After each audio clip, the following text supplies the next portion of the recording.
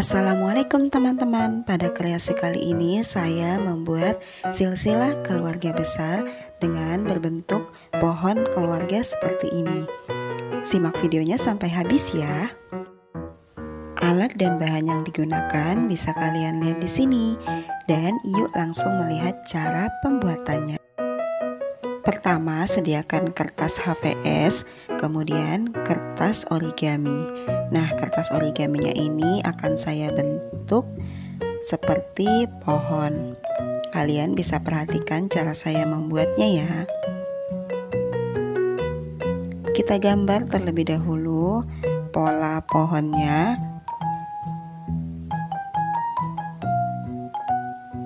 Setelah itu, kita gunting sesuai dengan pola yang sudah dibuat.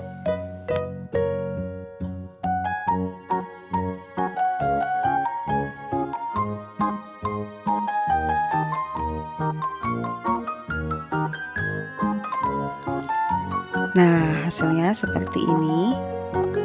Kemudian kita akan buat batang pohonnya.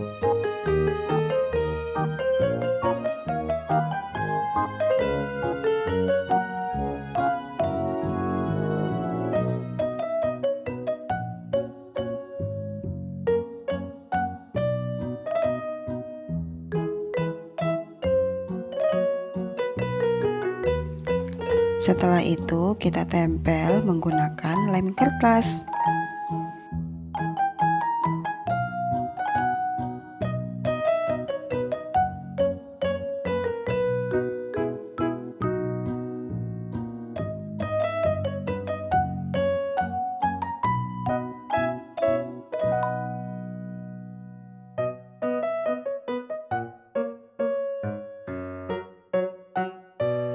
Kemudian, sediakan kertas origami dengan ukuran 4 x 4 cm.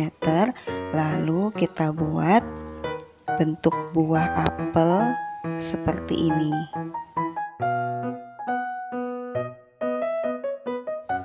Buat 5 buah yang berwarna merah, 5 buah yang berwarna kuning, dan 3 buah yang berwarna merah muda dan dua kertas yang berbentuk segi empat seperti ini. Lalu kita tempelkan satu persatu.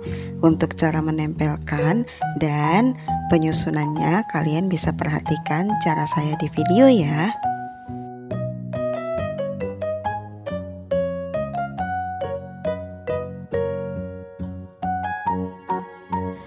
Untuk kertas yang berbentuk buah apel ini kalian bisa sesuaikan dengan anggota keluarga kalian ya. Di sini saya mencontohkan anggota keluarganya Udin yang dari ayah dan dari ibu.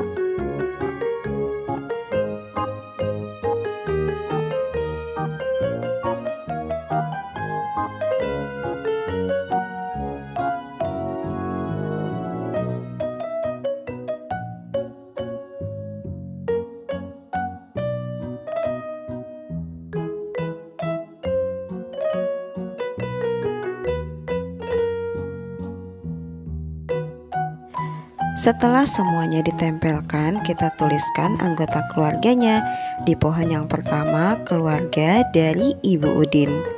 Yang terdiri kakek Udin yang bernama Jamal, nenek Udin yang bernama Nani. Nah, yang bernama Jamal dan Nani ini orang tua dari Ibu Udin.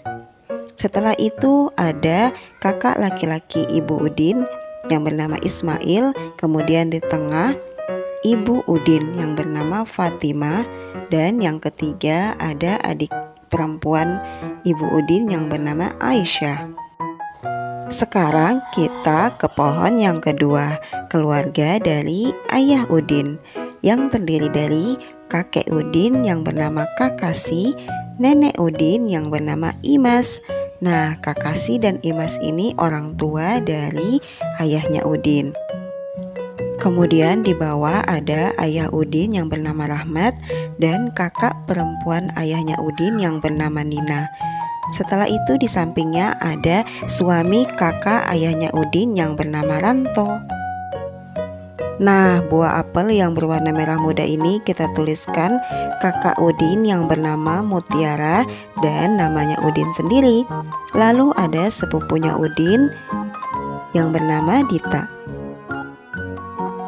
Kemudian kita beri garis seperti ini ya, jadi terlihat silsilah keluarganya. Di pohon yang pertama, kakek Jamal dan nenek Nani mempunyai tiga anak, salah satunya Ibu Udin.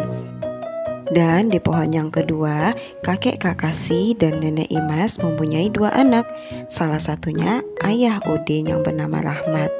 Yang satunya ini menantu ya, ada kesalahan menarik garisnya, seharusnya kita menarik garisnya di bagian tengah buah apelnya.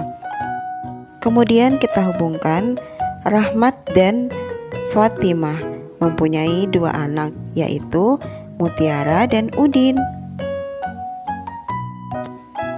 Lalu Nina dan Ranto mempunyai satu anak yaitu bernama Dita, sepupunya Udin.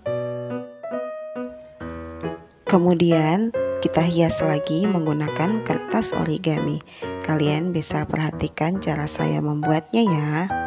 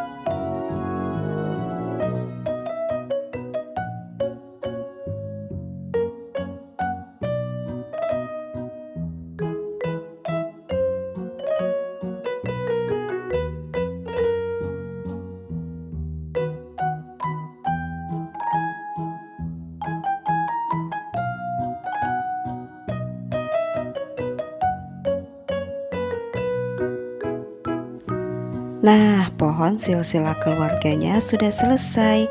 Gampang kan cara membuatnya? Terima kasih buat kalian yang sudah menonton video ini. Semoga videonya bermanfaat dan mohon maaf jika banyak kekurangan. Jangan lupa ya untuk selalu mendukung channel ini dengan like, subscribe, komen, dan share juga. Wassalamualaikum.